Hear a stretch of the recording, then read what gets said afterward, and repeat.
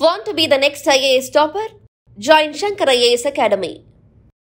கோவையில் மத்திய நிதியமைச்சர் நிர்மலா சீதாராமன் கலந்து கொண்ட நிகழ்ச்சியில் தமிழ்தாய் வாழ்த்து புறக்கணிக்கப்பட்டது சர்ச்சையை கிளப்பியுள்ளது கோவையில் உள்ள தனியார் நட்சத்திர விடுதியில் ஸ்டார்ட் அப் அகாடமி சார்பில் தமிழகத்தின் சிறந்த சுயதொழில் முனைவோர்களுக்கான பாராட்டு விழா நடைபெற்றது இந்த விழாவில் மத்திய நிதியமைச்சர் நிர்மலா சீதாராமன் பங்கேற்று சிறந்த சுயதொழில் முனைவோருக்கு விருதுகளை வழங்கினார் இந்த நிகழ்ச்சியில் கோவையில் உள்ள முக்கிய தொழில் அமைப்புகளின் நிர்வாகிகள் பாஜக மாநில தலைவர் அண்ணாமலை கோவை தெற்கு எம்எல்ஏ வானதி சீனிவாசன் உள்ளிட்ட பாஜக நிர்வாகிகள் கலந்து கொண்டனர். அப்போது இந்த நிகழ்ச்சியில் பேசிய மத்திய அமைச்சர் நிர்மலா சீதாராமன் ஒரு விதத்துல நம்மளுக்கு சொல்லிட்டு இருந்தாங்க பெரிய இண்டஸ்ட்ரி இண்டஸ்ட்ரி நம்ம நாட்டில் முன்னேறிட்டு வருது.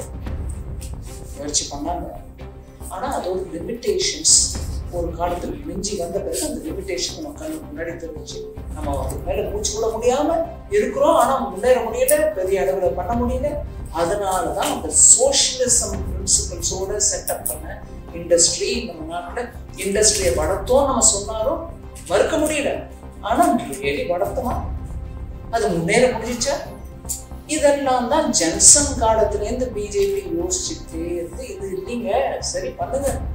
பட் நம்ம நாட்டுல தொழிலோ உற்பத்தியோ விவசாயமோ ஒவ்வொரு மனுஷனும் இந்த ரொம்ப பல பல நூறு ஆண்டுகளாக ஆயிரம் ஆண்டுகளாக நம்ம பண்ணிட்டு தான் இருக்கோம்.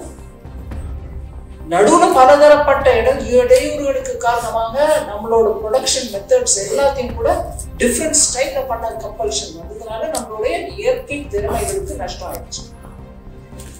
அதை உணர்ந்து தான் ஜன்சங்லேருந்து நம்மளுடைய நாட்டுக்கு என்னெல்லாம் சக்தி இருக்கோ அந்த சக்தியை நம்ம புரிஞ்சுக்கணும். அதை வளர்க்கணும். அதற்கு கவர்மெண்ட் துணை உதவி புரியணுமே தவிர அவங்கள இன்னும் கட்டாயப்படுத்தக்கூடாது. அவங்களுக்கு அந்நியமா இருக்கக்கூடிய சிஸ்டம்ல அவங்களை செய்ய சொல்லக்கூடாதுன்றதுலாம் மெல்ல மெல்ல மெல்ல மெல்ல வந்துச்சு. தற்போது நம்முடைய உற்பத்தி முறைகளில் மாற்றம் ஏற்பட்டுள்ளது. தொழில்களில் உற்பத்தியை அதிகரிக்க கொள்கை மாறுதல்களை மோடி அரசு செய்துள்ளது என கூறினார். இந்த நிகழ்ச்சியின் துவக்கத்தில் கணபதி பாடலும் நிகழ்ச்சிக்கு பின்னர் தேசிய கீதமும் பாடப்பட்டது.